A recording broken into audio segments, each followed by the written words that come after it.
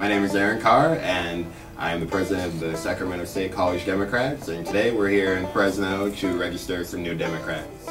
I think the Gets program in Fresno is great because we're creating a very democratic presence um, here in Fresno where in the past uh, there hasn't been. Um, we're setting a new precedent for uh, politics and uh, kind of stopping business as usual um, here.